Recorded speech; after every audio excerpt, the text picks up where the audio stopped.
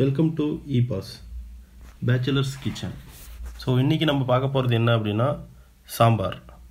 So அதுக்கு தேவையான பொருள் பார்த்தீங்கன்னா பீன்ஸ் ஸோ கொஞ்சம் தக்காளி.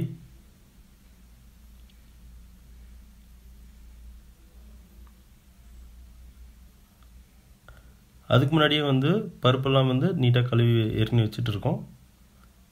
அதுக்கப்புறம் உருளைக்கிழங்கு. ஃபைனலாக கேரட் ஸோ இது எல்லாமே வந்து நீட்டாக கழுவி ஒரு குக்கரில் வச்சுருக்கோம்.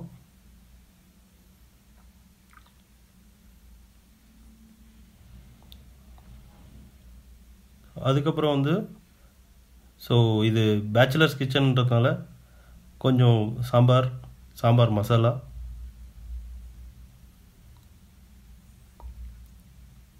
தேவையான அளவு மிளகாத்தூள் அதிகமாக போட்டுறாதீங்க பேச்சுலர்ன்றதுனால அப்புறம் கொஞ்சம் பின்விளைவுகள் சந்திக்க வேண்டியதாக இருக்கும். ஸோ காரம் கொஞ்சம் கம்மியாக போட்டால் நல்லாயிருக்கும். அடுத்து மஞ்சள். ஸோ மஞ்சள் வந்து எவ்வளோக்கு எவ்வளோ கம்மியாக போடுறீங்களோ அவ்வளோக்கு எவ்வளோ நல்லது. அதிகமாக போட்டிங்கன்னா மஞ்சள் அந்த அந்த மஞ்சள் வாசனை வந்து அப்படியே இருக்கும்.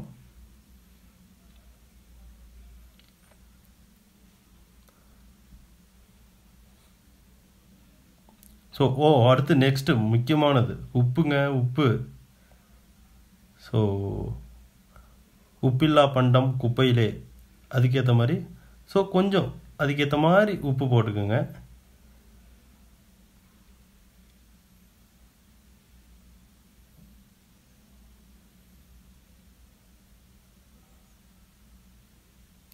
நெக்ஸ்ட்டு கொஞ்சம் தேவையான அளவு தண்ணி. ஸோ இந்த மாதிரி இன்ட்ரெஸ்டிங்கான வீடியோஸ் பார்க்கணும் அப்படின்னா எங்கள் சேனலை சப்ஸ்கிரைப் பண்ணுங்கள் கமெண்ட் பண்ணுங்கள் கண்டிப்பாக ஷேர் பண்ணுங்கள் எல்லோரு கூடவும். ஸோ இப்போது தண்ணி ஊற்றி எல்லாம் ரெடியாக இருக்குது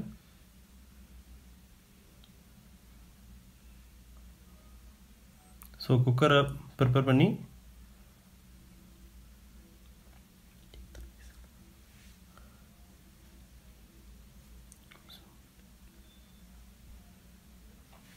okay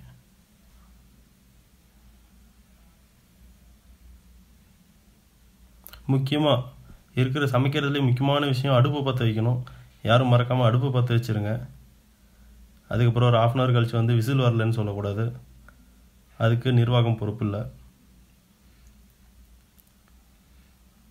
so next so cooker வச்சாச்சு.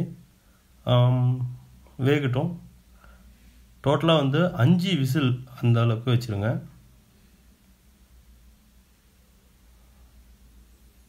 ஸோ இப்போது வெந்துடுச்சு.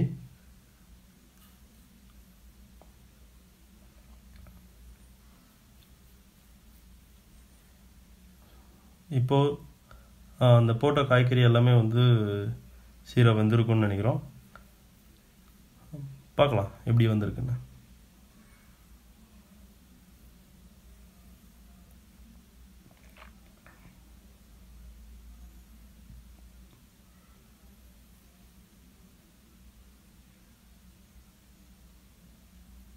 ஸோ நெக்ஸ்ட்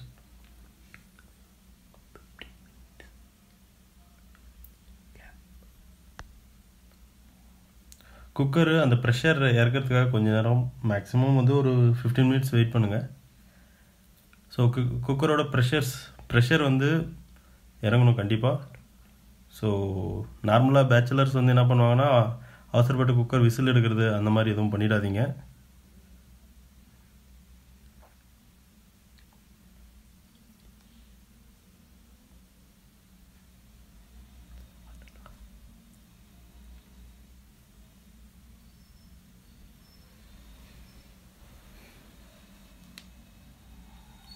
ஸோ வானொலியில் கொஞ்சம் என்ன?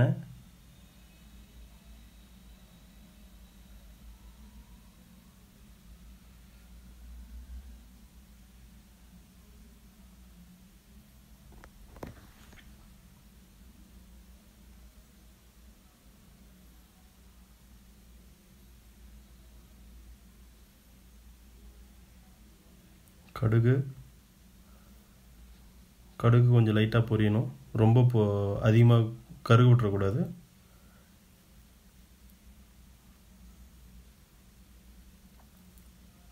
ஸோ நாங்கள் இப்போ பார்த்தோம்னா எங்ககிட்ட இருக்கிற பேசிக் திங்ஸ் வச்சு தான் பண்ணிகிட்ருக்கோம் ஒன்றும் வந்து என்ன சொல்கிறது பெருசாக எதுவும் வாங்கி வச்சு ப்ரிப்பேர் பண்ணி அது மாதிரி எதுவும் பண்ணல. ப்ளஸ் வந்து நாங்களே மசாலா தயாரித்து ப்ரிப்பேர் பண்ணி நாங்கள் வந்து சமைக்கலை. ஸோ எங்ககிட்ட இருக்கிற பொருள் இதுதான் வந்து மோஸ்ட்லி பேச்சுலர் வீட்டில் இருக்கும்னு நினைக்கிறேன். ஸோ இப்போ நல்லா கடுகு பொரிஞ்சிருச்சு.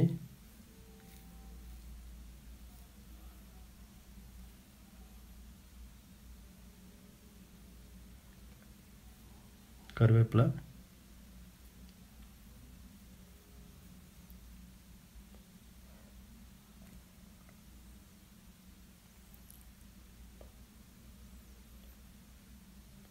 ஸோ இது ரெண்டுமே நல்லா வதங்கினதுக்கப்புறம்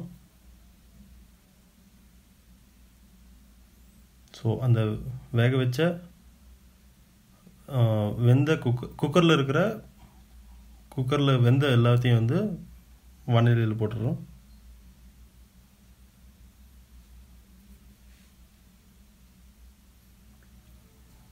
ஸோ பார்த்தீங்களா சிம்பிளாக முடிஞ்சு. ஸோ தேவையான பொருளை குக்கரில் வேக வைக்கிறோம். அஞ்சு விசில் விடுறோம். மறுபடியும் வானிலைக்கு வரோம். கடுகு அப்புறம் கறிவேப்பிலையை போடுறோம். மறுபடியும் வெந்த அந்த குக்கரில் இருக்கிற எல்லாத்தையும் வந்து வானிலையில் கொட்டிடுறோம்.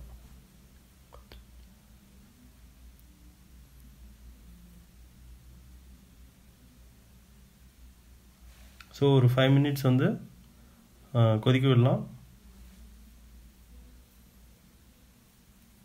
ஸோ நார்மலாக குக்கரில் வந்து குக்கரில் வந்து பொருள் போட்டு பண்ணும்போது அங்கங்கே உப்பு எல்லாமே வந்து அங்கங்கே இருக்கும். ஸோ இந்த மாதிரி வேக வச்சு ஒரு கொஞ்ச நேரம் கலக்கி விட்டோம் அப்படின்னா அந்த உப்பு காரம் எல்லாமே வந்து சீராக அங்கங்கே பரவிடும்.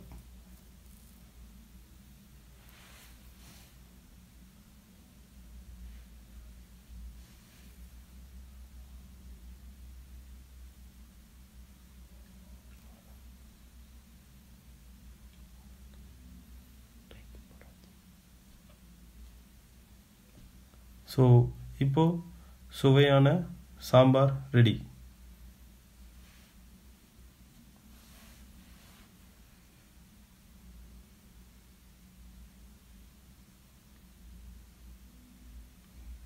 டேஸ்ட் பார்க்குறன்ற பேரில் ரொம்ப சூடாக எடுத்து வாயில் போட்டுறாதீங்க.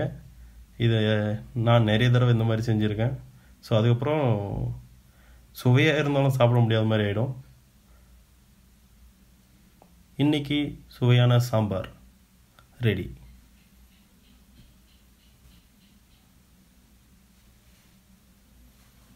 ஸோ இதே மாதிரி நிறைய வீடியோஸ் ஐடியாஸ் எதாவது வேணும் அப்படின்னா subscribe to our channel e pass please do share and comments கொடுங்க. ஏற்கனவே சொன்ன மாதிரி உங்கள் கமெண்ட்ஸ் தான் எங்களை ஒன்றும் ஊக்குவிக்கும்.